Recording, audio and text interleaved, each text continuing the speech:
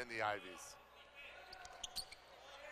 Yeah, they definitely have a chance to make some noise. Morgan from downtown hits. Red victory. Well, starts on the defensive end, but offensively, that's Cornell's guy.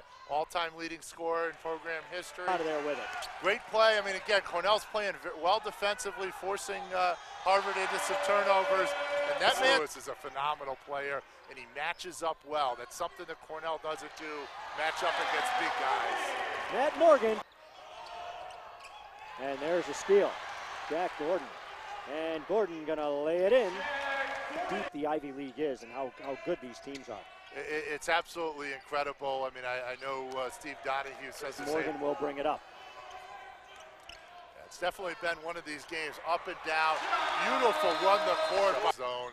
It's causing some issues for for uh, for Harvard, but then he hasn't gotten a ton of open looks like that. He gets Lewis left baseline and a turnover to Cornell. Ahead to Julian. Julian puts it down with the right hand.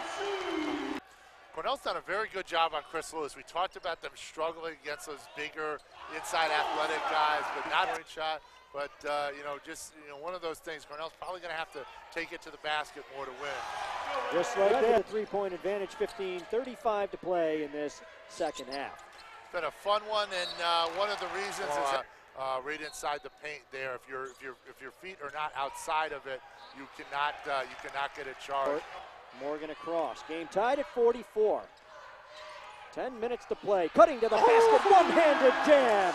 Aiken being guarded by Knapp around to the right side. Djuricic backdoor cut. Aiken up and under. Bucket is good. Off. Because of all their offensive rebounds. Another turnover and to the rim and able to lay it in with 17 offensive rebounds.